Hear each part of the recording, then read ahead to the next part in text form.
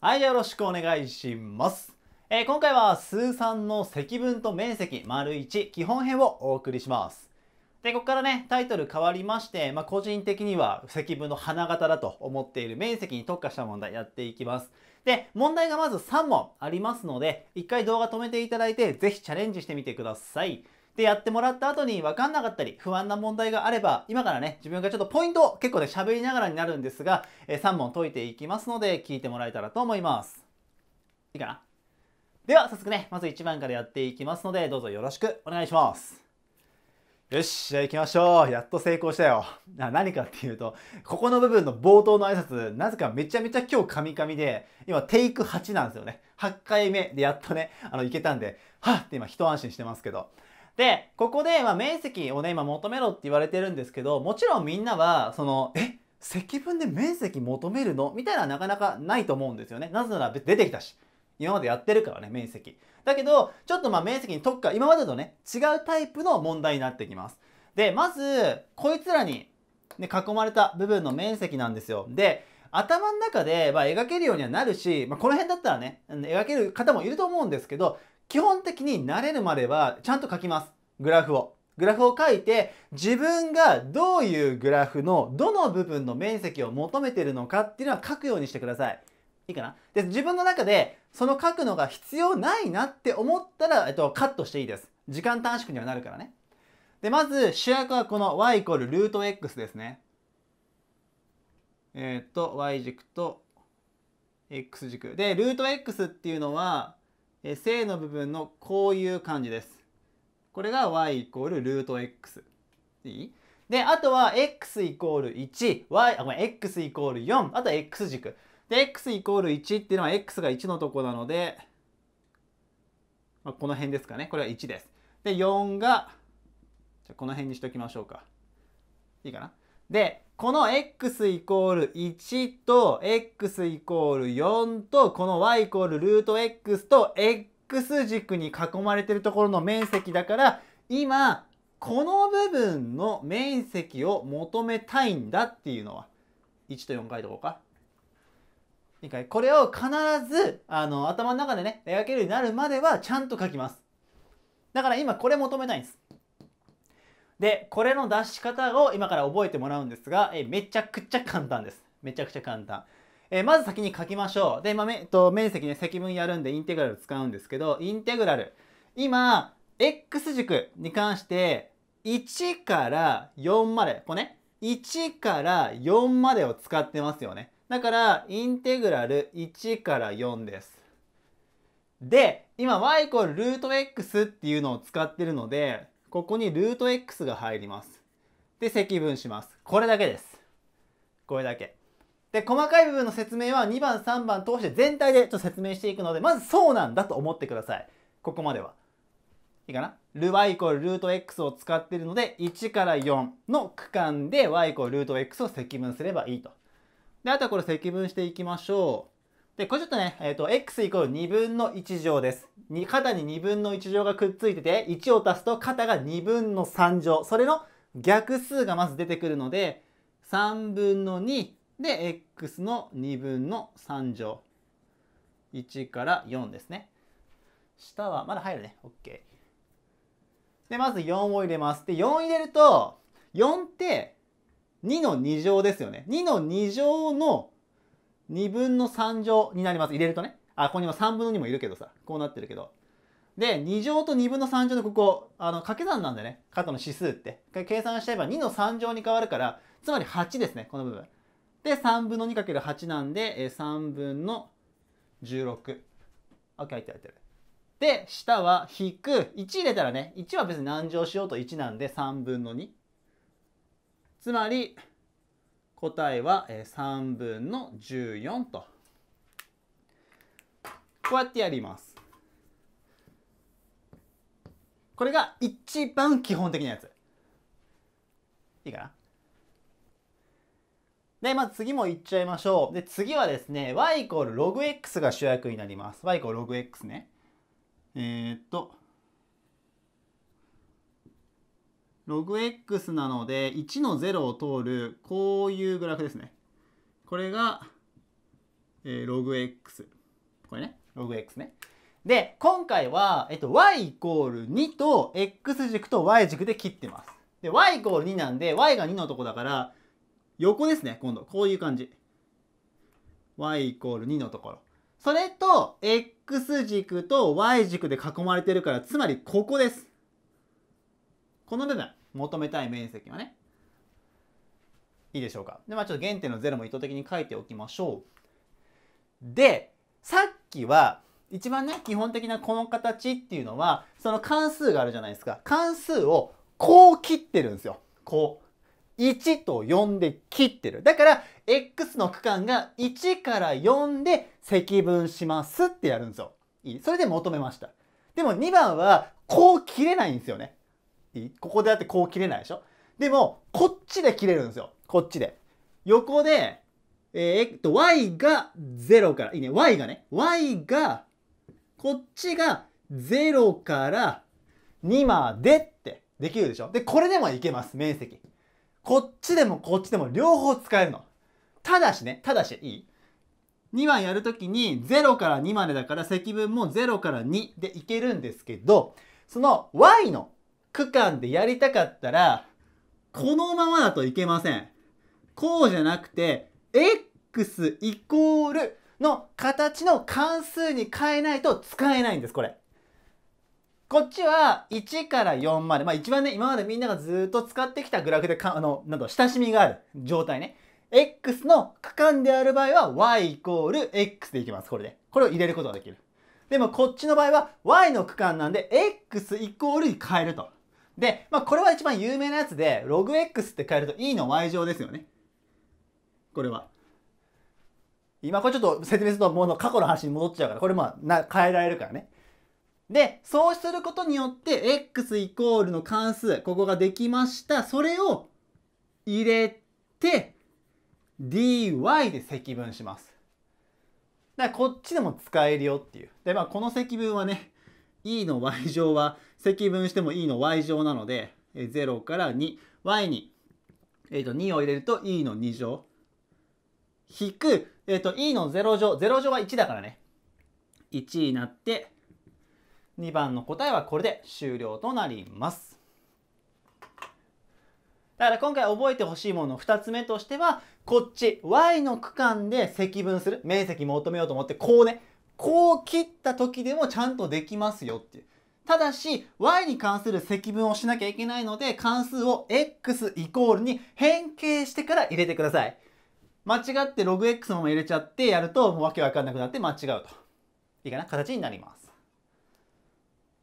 で、3番です。で3番は一番 あの中学生でもね、かけるあの関数に変えましときましたけど、まず y イコール x2 乗。えっ、ー、と、今回はちょっと第2象限も使うから、このぐらいにしとこうか。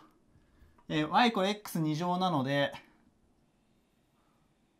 よいしょ。こんな感じかな？ちょっと曲がっちゃったけど最後。これが y イコール x2 乗ね。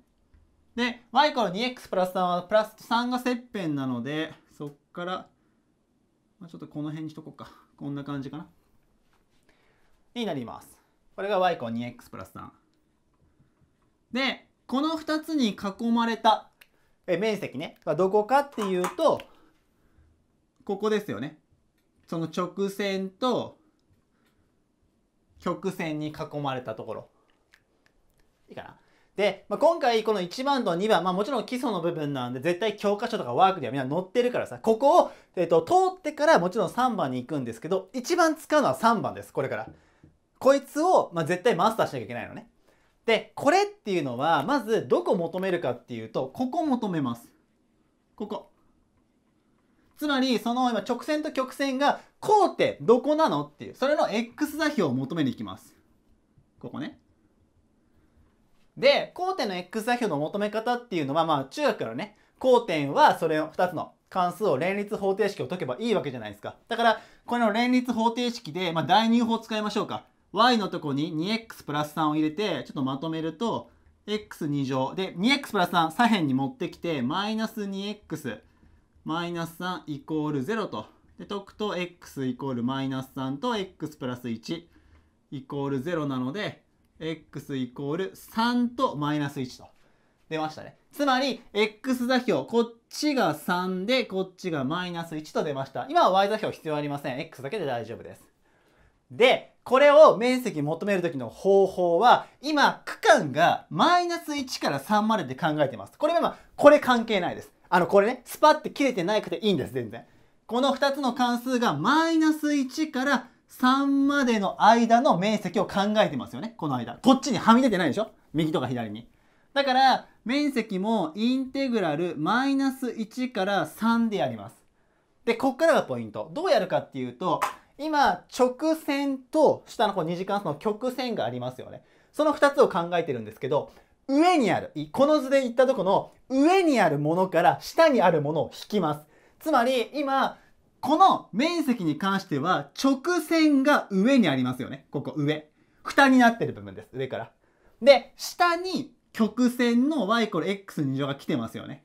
つまり、上にある y イコール 2x プラス3から下にある y イコール x2 乗のこのね、x2 乗を引きます。これを積分の中に入れることによって上の関数、上の関数から下の式を入れることでできます。あとこれ積分するだけ。いいかなじゃあ行きましょう。で、ちょっと順番あべこべになっちゃったから、まあ、x2 乗のとこから処理していいですか？あいつをやると3分の 1x3 乗。こいつね、2x をやると、え2分の1が出てきて2と約分されるから x2 乗になります。3は 3x。で、あとマイナス1から3。これはちょっと めんどくさそうだぞ。3入れましょう。ここが、えーと、マイナス9プラス9プラス9か。引くことのマイナス1入れると,、えーと、3分の1プラス1マイナス3右が入ら、うん、答えだけなら入りそうちょっと待ってえー、っとこっちが9残ります。あっちが、えー、っと11-3分の1なのか。だから3分の32か。あってる？3分あってね3分の32か。ということで答えは多分これなら入ってるはず。3分の32と。入ってるよね？OKOK というやり方になります。いいですかまずこの2つの関数だから、えっとまあ、直線曲線と曲線の時ももちろんこれが出てきますけどその関数に挟まれてる部分の面積っていうのは交点を求めてこっからここまではえ上から上の関数から下の関数を引くっていうのを積分に入れることで面積を求められます。いい？で、ここからちょっとポイントをね、あのいろいろあっちこっちって話をしていくわけなんですが、まず1個目として、ここの話ちょっと戻ります。ここ。ここって実はこれと同じことをやってます。これね。同じことをやってるの。何やってるかっていうと、これ上の関数。上ってこれね、もちろん。蓋の部分。蓋はこれ y イコールルート x でしょ。これが今上になるんですよ。蓋の部分ね。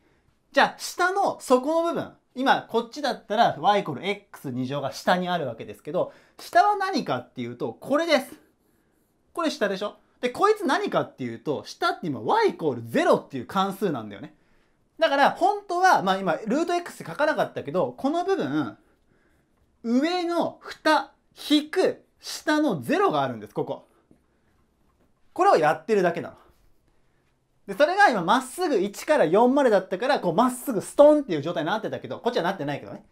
でも上の関数から下の関数を1から4で、え、面積積分する。面積を求めるものって考えると、まあ、これと一致します。考えとしてはね。いいかな？でもう一個ね今回ちょっと問題に入れられなかったんですけどちょっとおまけというか是非覚えておいてほしいことがあってえー、っと例題でどこ行こうかな？ここでいっか。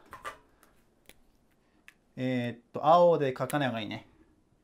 ちょっとちっちゃいと思うんで見にくかったらごめんなさい。え、y イコール x2 乗マイナス1っていう関数について考えます。つまり、あ、待って。x 軸もっと上の方がいいね。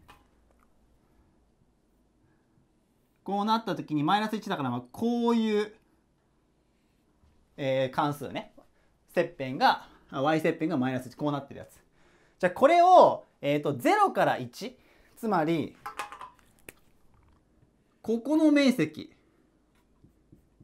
ここ1なんでね、えー、0から1の区間で面積を求めたいってなった時にこれよくねその x 軸から下に埋まってるものは積分するときに今0から1なんで、えー、っとこれにマイナスをつけたもので積分しなさいみたいな公式が書いてあります。マイナス fx とか、あとは積分、これね、普通に、えっ、と、x2 乗、マイナス 1dx にこうマイナスをつけなさいとか、マイナスを全体につけるか、中身にマイナスをつけなさいみたいなことが書いてあります。で、実際これで求まるのね。これに関しては。ちょっと囲んでおきます。でこれに関しても実は全くこいつらと同じ発想で何やってるかっていうと上の蓋の部分はこいつが蓋なわけよ今上の関数。だからさっきと一緒。y イコール0が蓋になってて下の部分の関数がこいつになってる。つまり0から上の関数を引くかあ下の関数を引くからこうなるわけ。0からこいつを引く。そうすると結局マイナスをかけたものなんで、まあ、全体にマイナスをかけるか、自分中身にマイナスつけちゃう人なんだけど、マイナスをつけて積分するかっていう発想になります。いいかな？なので、まあ、今回最初の部分で覚えてほしいのは、まずこいつからね、こうやって。積問するんだけど、まあ、最終的にはこう使って、で、このね、こっちの y 軸の方で区間を取ることもできる。それでも積分はできる。ただその時には x イコールに変えなきゃダメですよって。じゃないと積分ができませんっていうことと、で、一番メインなのがこいつ。2つの関数。まあ、今回直線と曲線でしたけど、そうなった時は交点。こっからここまでっていう交点をちゃんとはっきりさせて、ここで積分をすると。で、上にある直線とかまで関数の式から下にある式を引き算して、それを積分に入れることで、やれば、えっと、面積が求めることができますので、ぜひね、まず、まずここからね、まずこういうやり方があるんだと、これができるんだっていうのを覚えて、あと自分自身で解けるように、ぜひここは確認しておいてください。いいかな？では、ちょっと長くなっちゃいましたけど、今回はね、数3の積分と面積丸1基本編をやらせていただきました。で、次回もね、ちょっともうちょっと複雑なやつを問題演習でやっていきますので、よかったら次回の方も見てみてください。では、今回の授業はこれで終わります。以上です。ありがとうございました